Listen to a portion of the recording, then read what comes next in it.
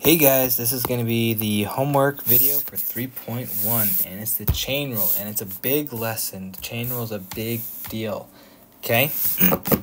and so we're going to go through this really, really slowly with a lot of explanation because there's a lot that you can miss when doing the chain rule. A lot of people miss um, parts of the chain rule when they're first learning how to use it. And it's only six questions long, but to take uh, a, a while for me to explain these just because I want to make sure that we cover every part of it and I don't want to miss anything. And the chain rule, there's it's so easy to forget how to, uh, to do one of the things, okay? So looking at question one, we have a lot to unpack here. We have a function given here and we're trying to find its derivative. And I can't just go in and take the derivative of sine, take the derivative of that, take the derivative of that, take the derivative of that although we are going to do it, but how do you chain them all together? What's the appropriate way to do all that? Okay, and so First of all, you have to think about what is the outermost function, and then you work inside. So you always work outside to inside, the derivative of the outside times by the derivative of the inside. But then, even then, there might be more inside functions, which is like what's happening here. So the outermost function, the outermost, uh, outermost operation happening here is this degree 3. In this degree 3, you can treat it as if we had x to the third power. What would I have to do with that?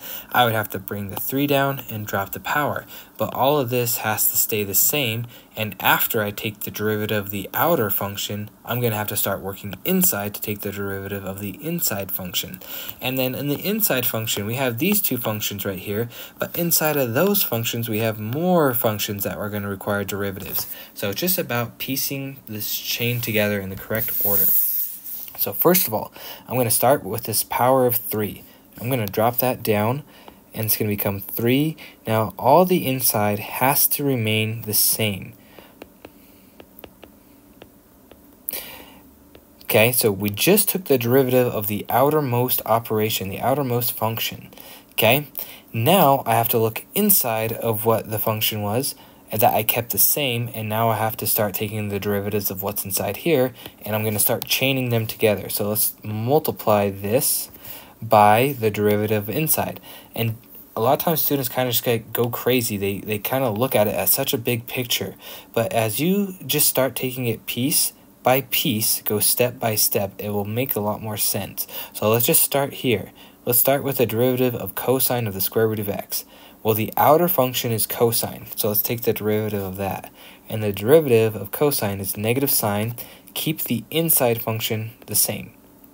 Okay, so I took the derivative of the outer function here, but now I have to go inside and take the derivative of this function right here, the square root of x. And the derivative of the square root of x is 1 over 2 square root of x. Okay, so again, we had this first derivative, then we had this derivative and that derivative. Okay, let's move along. And so now we have the minus the natural log. Let's take the derivative of the natural log, and then we're going to have to go inside of that. So the derivative of the natural log is 1 over x, but we're going to call that 1 over x squared. We have to keep the inside part as it is. But now we have to go inside and take the derivative of x squared, and the derivative of x squared is 2x. And now we've done everything. So we had the outermost derivative, we had the derivative of cosine, then we had the derivative of uh, the square root of x, then we had the derivative of the natural log, then the derivative of 2x. And it's just a matter of how you chain them all together.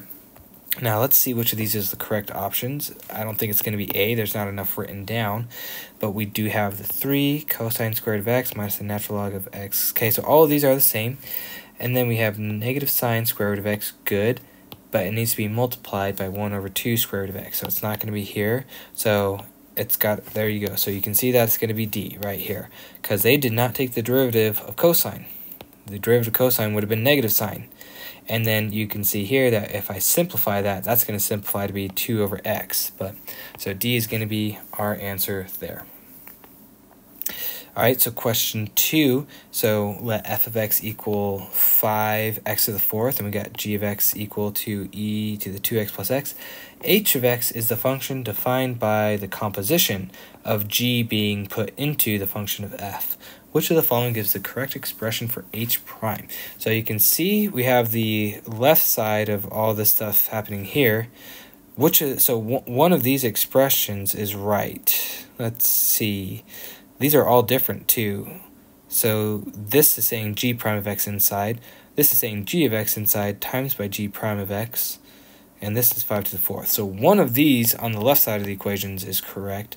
And then, so we'll do both sides. We'll explain why um, it's correct on the left and the right. So, but in any case, so um, let's think about this right here. So if I just take the general rule, so h prime of x of if of a derivative of a composition, so we take the derivative of the outside function, which would be the derivative of f, but the inside has to stay the same, and then I go inside and take the derivative of the inside function.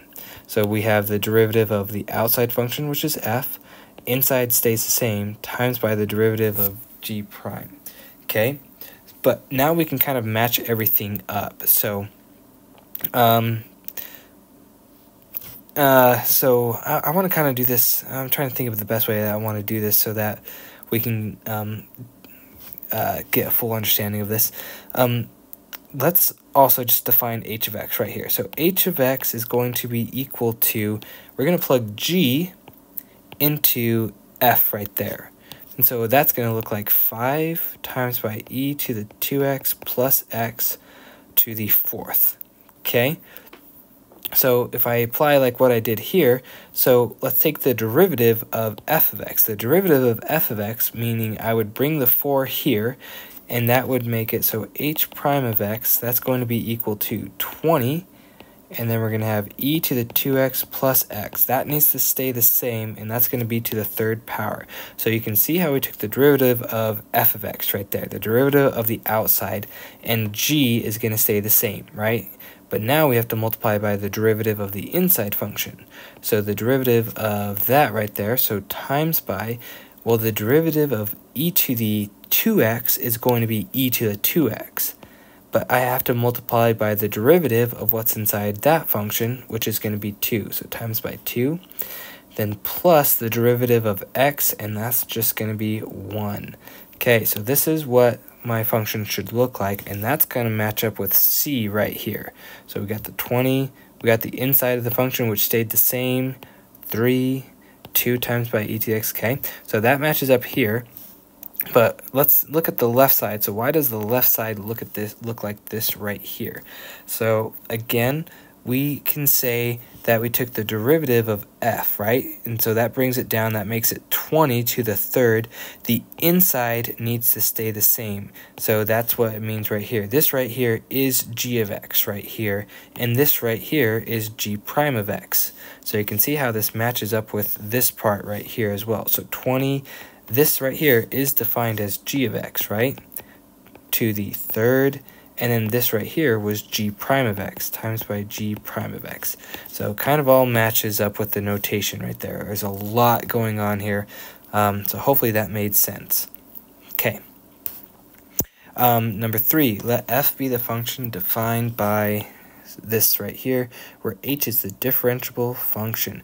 Which of the following is equivalent to the derivative of f with respect to x? So let's start with f of x, uh, f prime of x. So what's the outermost function? That's this sine function, and h of x is inside it. So let's start by taking the derivative of sine, and that's cosine.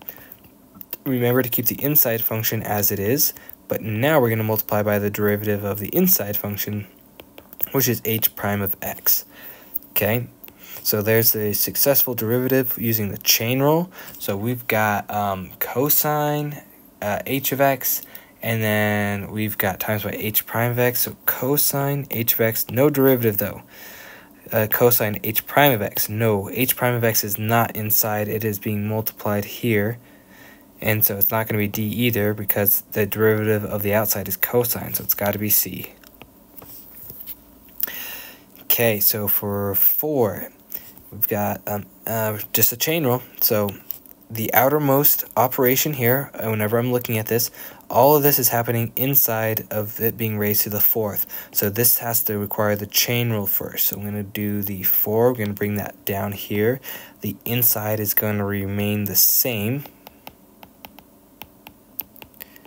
Okay, that's going to be dropping down to the third. Now I have to start multiplying by derivatives happening inside. So let's jump inside here, take the derivative of these right here. So derivative of e to the 3x is going to be e to the 3x times by 3 because the derivative of what's inside that one is 3. So that's another chain rule. So we took the derivative of e to the x, also took the derivative of 3x. And then we have plus, and then the derivative of sine is going to be cosine. Keep the inside the same, but now I have to multiply by the derivative of the inside, which is 2. Okay, so now we've completed the chain rule and the chain rules inside the chain rule. So we have 4. I, I don't think it's going to be A because that's far too, there's not enough work there. Um, 4 e to the 3x. Let's see, we're Yep, e to the 3x sine of 2. Okay, this one looks good so far. Okay, and then we have e to the 3x. Ooh, they forgot the chain rule here. They didn't multiply by 3, so it's not going to be that one. So 3 e to the 3x plus 2, because the 2 is being multiplied, so they got the chain rule there. But it needs to be cosine and not sine, so it's got to be d. question 5. So we've got let f of x equal x to the third and g of x equal x over x minus 1. Um, this one, man, I'm seeing quotients. Well, I don't want to jump to any conclusions, but we might need to use the quotient rule here. Um, okay, so if we want to write out h of x, so h of x is going to be equal to, um, so we're plugging g into f.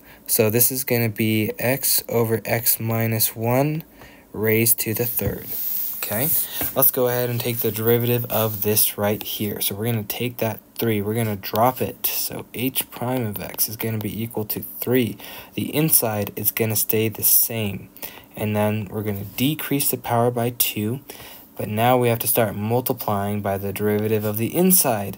Now this inside function is a quotient, so it's going to require the quotient rule. So let's just start taking the derivative of this. So we're going to start with low, d high, minus high, d low, and then we're going to square the bottom, and away we go.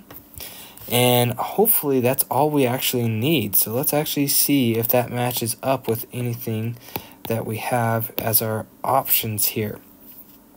So we've got definitely not going to be this one right here. I'm just looking at the, the right side of the equation. I mean, I can already tell it's got to be C because this is the correct notation for the derivative, right? We drop the 3, it's going to be squared, the inside's going to remain the same, and then we multiply by the derivative of the inside. So this C, it just matches up with the correct notation. So you automatically know that it's got to be it's got to be C. But let's make sure that we have our derivative right. So we got 3 here, x over x minus 1, that's going to be squared. And then we have x minus 1, that's what that's going to be, minus x. Yeah, so matches up with what we have there. Okay. Uh, for 6, let f be the function defined as such, which of the following is equivalent to the derivative of f with respect to x. So let's do f prime of x. So we're going to have the derivative of e to the x. And the derivative of e to the x is e to the h of x, but then we have to multiply by the derivative of the inside, which is h prime of x. And so that is going to have to be c. Because we got h prime of x being multiplied, they just switched the product, and that's okay. I don't know why you would, but sure. Okay, and there you go. So it's got to be c. All right. Um, poof. I don't know if that's enough practice. Hmm. I might have to post a, uh, a I don't know. We'll see what the progress check has, but it's just important to get a lot of practice with the um with the the chain rule. So maybe from the book I can pull some problems from the book and give you guys some additional problems if you don't feel like you have a enough practice. But um, hopefully that works for you guys, and yeah.